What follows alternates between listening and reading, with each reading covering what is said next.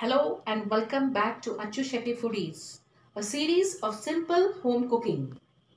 Today I'm going to show you a very interesting yet delicious recipe that is tea time snack, rava cake. Let's go ahead and see how it is made. And don't forget to subscribe my channel for many more interesting homely recipes. So here I'm going to start making rava cake. This is curds, one full cup. I'm adding. I'm going to beat the curd till smooth. Now I'm adding sugar, powder powder sugar. This is my powder sugar. For ingredients and their quantity, please check into my description box. So I'm going to beat this well till smooth and fluffy. Now I'm going to add oil.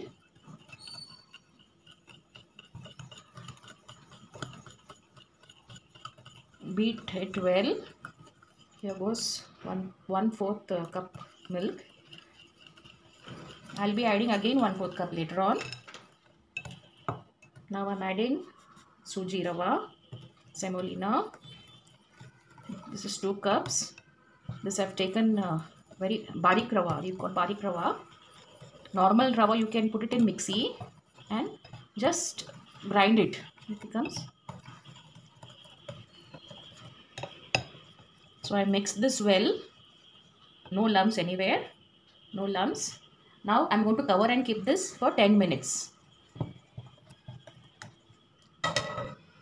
For 10 minutes I'm going to keep it like this.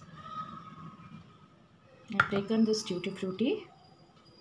I'm going to put maida into that. Little maida and dust it. Here I've taken a square tin. I've greased it with oil and then dusted with uh, maida flour and uh, parchment paper. I put on parchment paper in this. Here, 10 minutes I kept it covered. Now I'm going to add one more, one fourth cup of milk.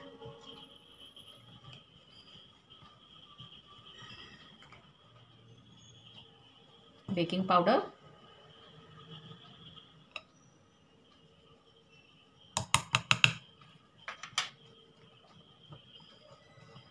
Baking soda. This is vanilla essence, 1 teaspoon. So mix all well. I've kept my oven to preheat at 180 degrees for 10 minutes. Can you see the frothiness here? See here. Baking powder has been activated.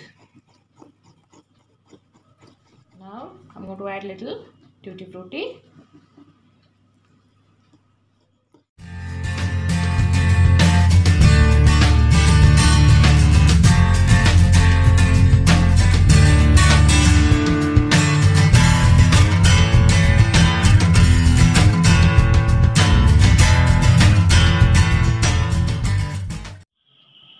my cake is baked just removed from the oven